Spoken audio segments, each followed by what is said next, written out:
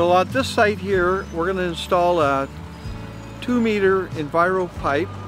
It's uh, an industrial site. It's going to be a temporary installation. There's no fish in the creek here, but it does run into a fish bearing stream nearby. So we're going with this bottomless, fish friendly installation. There's uh, very little prep here. We've taken a chainsaw, cut a couple of shrubs out. We're going to do no ground disturbance at all. We're just going to drop this pipe in where it is and it'll seat itself and it'll be there for as long as it's needed.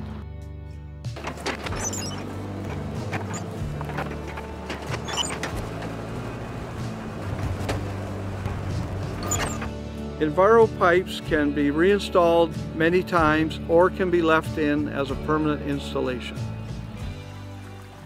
Thank you for watching this video. Contact us for more information.